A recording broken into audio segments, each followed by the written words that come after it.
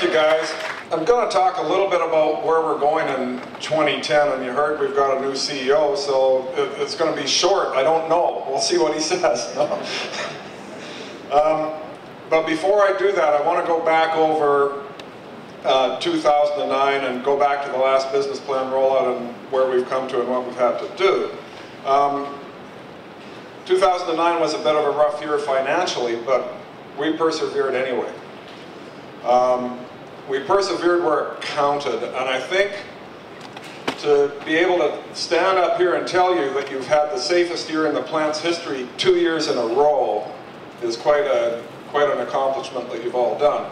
Uh, we've got four major NPRA safety awards for 2009. Four.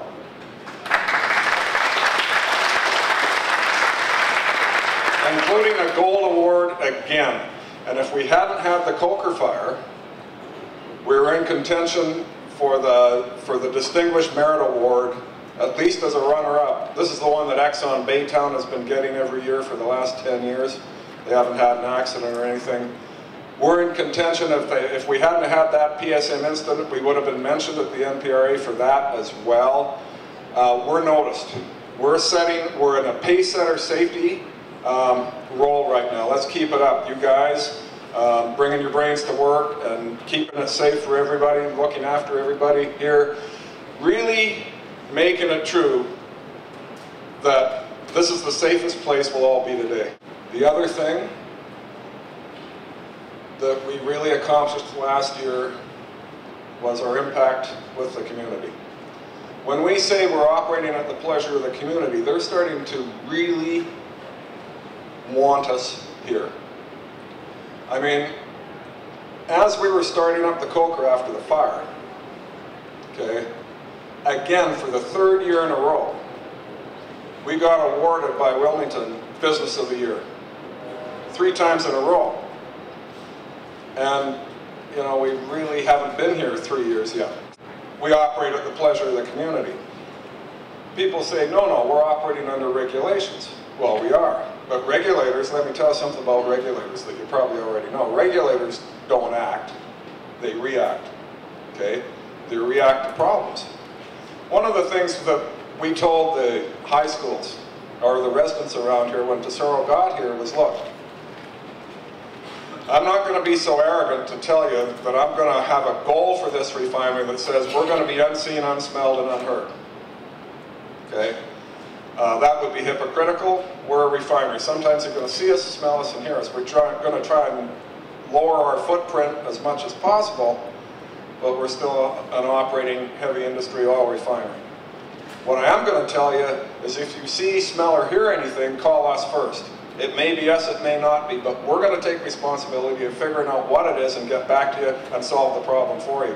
We got a response from the AQMD about two weeks after that statement saying, hey, they're not calling us anymore. I said, yeah, well, you're just going to give us a ticket. We're going to solve the problem. Uh, Karma will tell you a withdrawal from the trust bank when we have a, and it is like a bank, but we're not going into overdraft. It comes back because we put so many deposits in that. And your volunteerism out in the community is really, really important to us. And those who do, thank you very, very much. It's really important that we keep that up as well.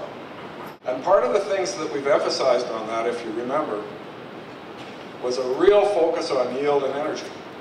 As a matter of fact, on energy, we got so aggressive on saving energy that we just got an award from SoCal Gas in 2009 for the best energy program in Southern California, which is something that you can all be proud of. And that was insulation,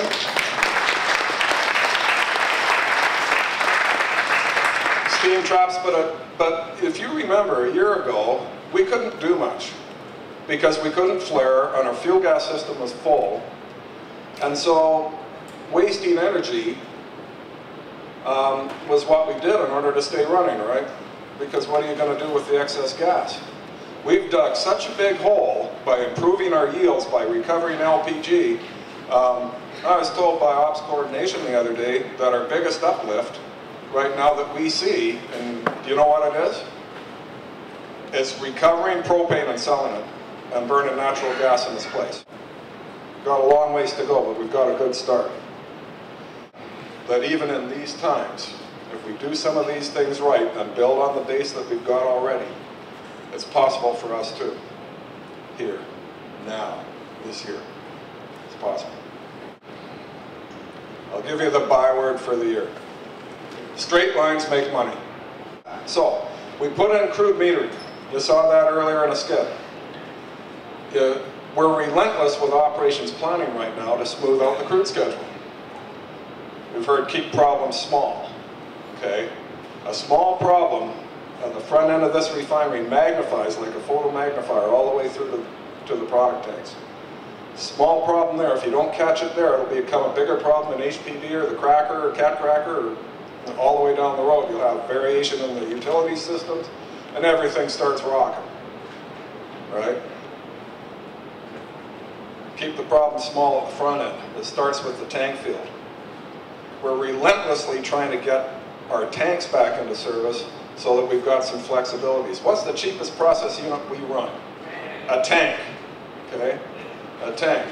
Tank full of alkylate is an alky plant running, et cetera, et cetera. We've made an organizational adjustment locally. I've created a uh, ops coordination department working for operations. That's in line with this as well. So that we're not going to create our own variation for the last few thousand barrels of throughput. We're going to get the first 90,000 barrels a day picture perfect and focus on that. That's how we make money. That's how we've got to do it. And be there when it counts. You know, when we do have a problem, like we did on the hydrocracker last week, that recovery was excellent. Get it back. But get it back safely, and don't lose our principles and our tenants. Very, very important that we recover strong when we do have an incident. Even more important, that we work preventatively. I know it's boring. Straight lines are boring. Let's get bored. That way we got time to have these things too, right? Let's get bored that way, but not on alert. Straight lines make money. We're reinvesting this year in fundamental training for everybody on what they do, skills training. We're looking at ways to get our schedules that we work to allow that to happen very robustly. Competence is key. Refresh competence is key. We're going relentlessly after the infrastructure.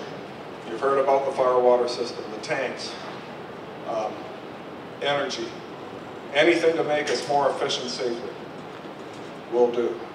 Any suggestions, you saw it in a skip this morning, remember, straight lines make money. That's what we're going to do this year.